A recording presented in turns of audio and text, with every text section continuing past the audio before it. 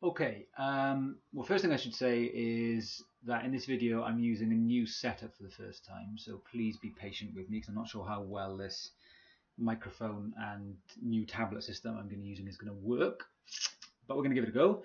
Um, and what I'm going to do in this session is talk uh, you through the derivation of uh, the famous, certainly famous if you're an aerospace engineer, Breguet range equation, which gives us an indication of what factors um, influence the range, uh, the distance that an aircraft can travel. So this is specifically for engineers at uh, Swansea University College of Engineering studying the EGA 302A module um, on aircraft design, um, but hopefully it's uh, useful for a wider range of students than that.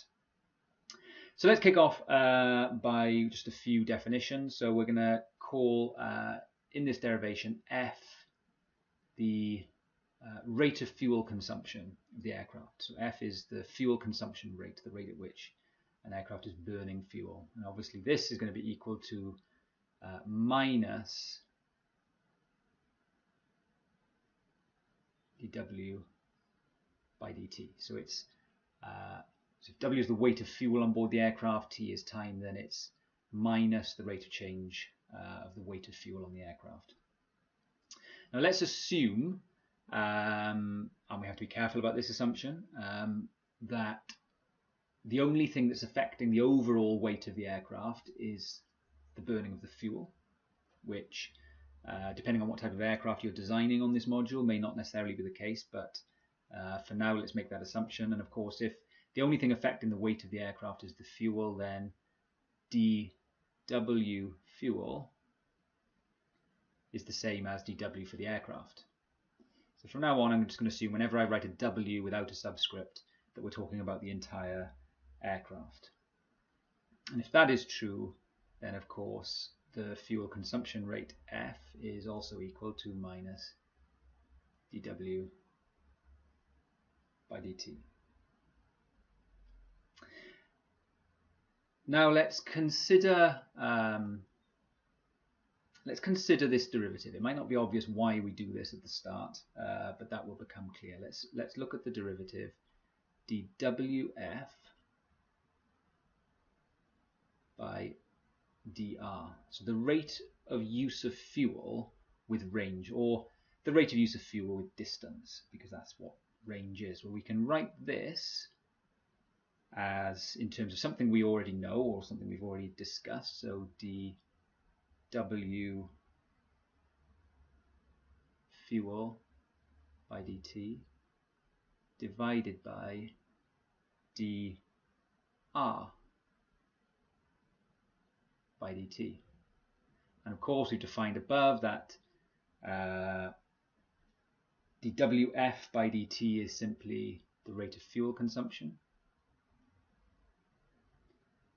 divided by dr by dt, uh, which is which is so this is the rate at which the aircraft is covering distance, and of course that is the speed of the aircraft. So v here is the speed of the aircraft. Um, I should, of course, if I'm being strict about my sign convention, include a minus in there because we've assumed that uh, if you're using up fuel, the weight of fuel is going down. So that's that's why you should have a minus sign there.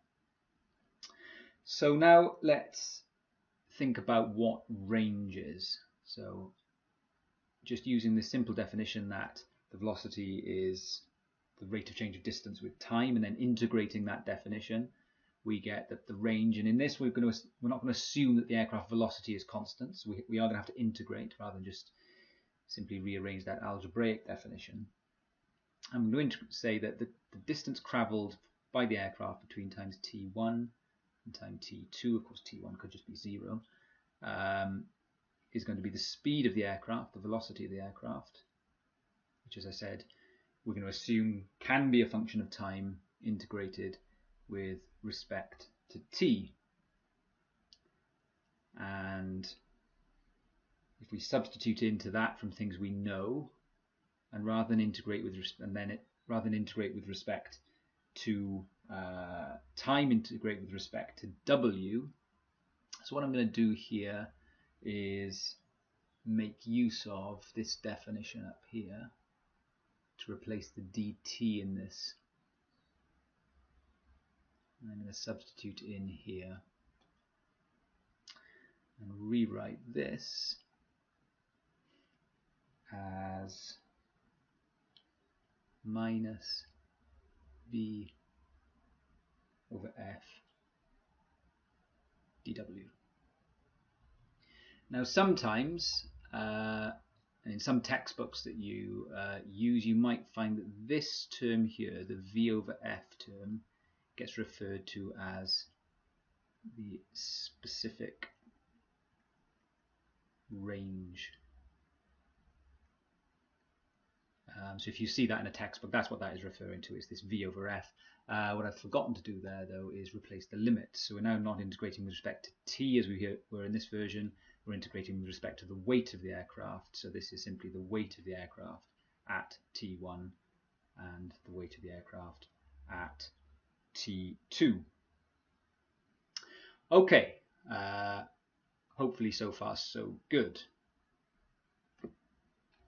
So I'm just going to uh, scroll down this new system. That's not so easy, but I think that's how you do it. Good. Um, I'm going to reintroduce or introduce some, some new definitions now um, to allow us to progress further with this. So first of all, we're going to say that eta is the propulsive efficiency of our aircraft. And in this version of the derivation, I'm going to assume that the type of aircraft we're dealing with is um, a piston powered, a piston engine uh, propeller aircraft, where the power system, we've got some engine system of a specified power, we'll call this our engine, which is generating power, turning a shaft. This is a poorly drawn shaft connected to a propeller at the front. And it's the propeller that is providing the thrust for the aircraft. That's the thing that's uh, that's overcoming the drag uh, of the aircraft. Um, and the propulsive efficiency of this system here is the, is, is the percentage of the power uh, generated by the engine that actually manages to transfer itself down the shaft and through the propeller and then aerodynamically into the airflow. Um, so that's what the propulsive uh, efficiency is. Let's finish writing that.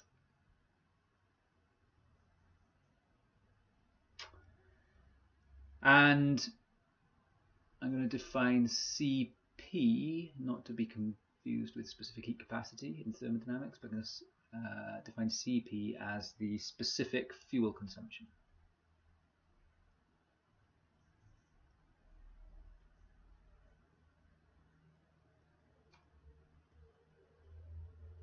So this is the rate of fuel uh, consumption per unit power output uh, from the engine. So this is related to the engine. I guess this is related to the system that takes that power from the engine um, and through the propeller uh, delivers uh, thrust.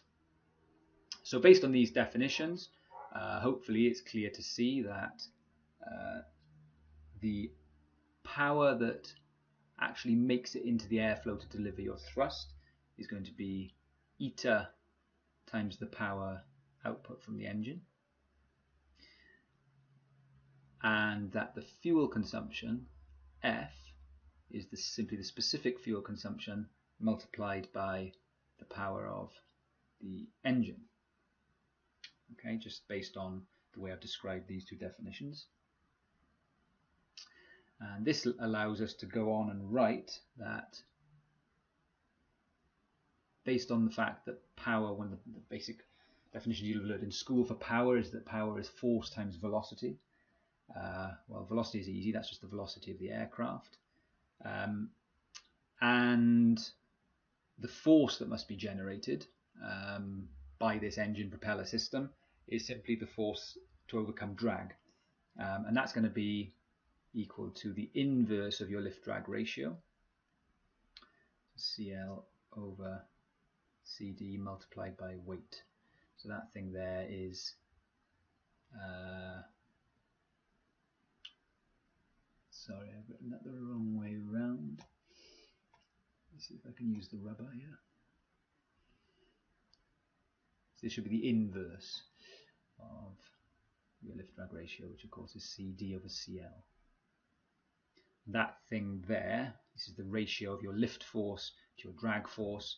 We know that the lift force must be equal to the weight of the aircraft in uh, straight and level, non non-accelerating flight, um, leaving us with the ratio of this, or the inverse of the lift drag ratio multiplied by the weight must give us the thrust of the aircraft. So we know what the, the power is now. So let's see if we can substitute some of these things uh, back up into this expression up here uh, for the range.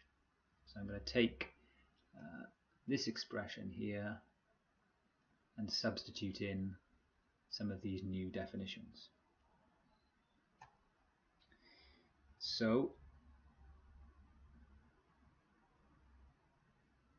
the range is equal to the integral from W1 to W2 of, and then taking this expression here and feeding it in, we're going to end up with minus P CL by CD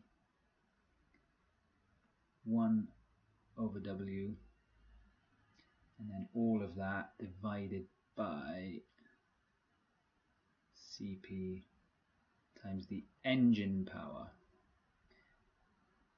dW. Um,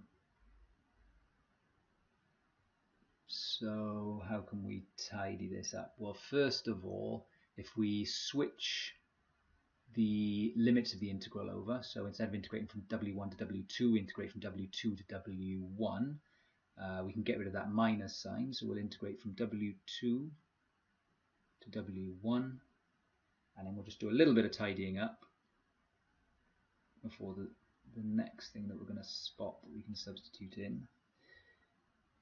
So that's uh, that's the power delivered to the airflow. Remember, this is your lift drag ratio all over the weight of the aircraft, specific fuel consumption, times the engine power, and that's integrated with respect to W, and I need to scroll down.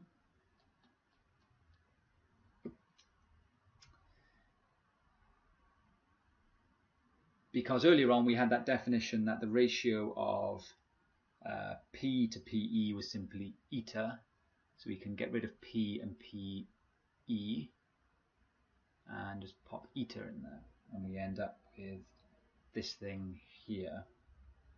In fact what I will do just to speed things up a little bit is bring that outside the integral. So we'll go eta over Cp. We can bring those outside the integral because they're both constants as is CL over CD. So we assume that you've got a lift drag ratio for your aircraft.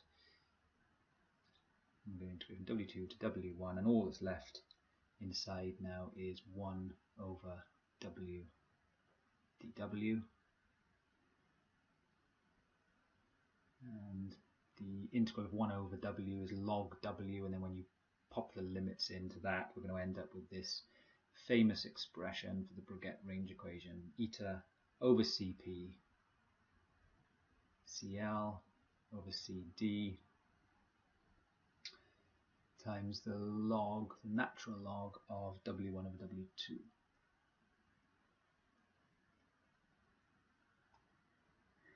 Now, let's just pause for a moment there and think about the significance of this in the context of design. And by this point, um, if you're studying EGA 302A and I've asked you to watch this video, um, you'll be able to think about, well, what aspect of the aircraft design am I taking responsibility for? And in what way does can I influence the factors in this equation? Uh, so if I want to maximize the range of my aircraft, well, this should all make sense. Uh, we need to maximize the propulsive efficiency of the system. So if you're responsible for the uh, the propulsion system, then the thing that you have to work hard at achieving to maximize the range of your aircraft is maximizing the propulsive efficiency. Conversely, the specific fuel, fuel consumption, if your engine system burns a lot of fuel per unit power output, the larger that number is, uh, the smaller the range of the aircraft. So you're looking to minimize this thing here. The CL over CD, or the uh, lift to drag ratio of the aircraft, well, that's the domain of your aerodynamicist. So hopefully, aerodynamicists, you're working hard to drive this number, CL by CD, as high as you possibly can. Um, and then the other thing that, that affects the range is the log of, of the initial weight of the aircraft divided by the final weight, W1 over W2. Now, in the context of certainly the early stages of design, we tend to use this equation the other way around. We think about, well, we know what range we need to achieve. We can have good guesses at what some of these things are, and that helps us work out what W1 and W2 are going to be um, for our aircraft. Just to make the point, it's very easy to convert this into, rather than a range equation, an endurance equation. Um, of course, endurance is the length of time that the aircraft can remain airborne, simply because uh, Speed is distance over time. So uh, to turn this range equation into an endurance equation, we simply divide through by the speed of the aircraft. So we've now got eta Cp v Cl over Cd log W1 over W2. And the complication we now have, this might not look that much more complex.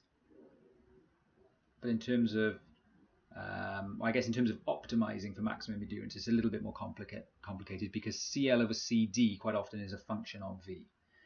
Um, so it's not simply a case of um, maximize CL over CD, minimize V. There'll be some optimum combination of V and CL over CD to give you your maximum endurance. So there's a derivation of the Breguet range equation and the endurance equation that naturally follows. Um, what I suggest you do in the context of EGA 302A, aircraft design, um, is make sure you understand that first of all and really have a good think about um, how this affects the kind of decisions you need to be making um, in your aircraft uh, design uh, activities.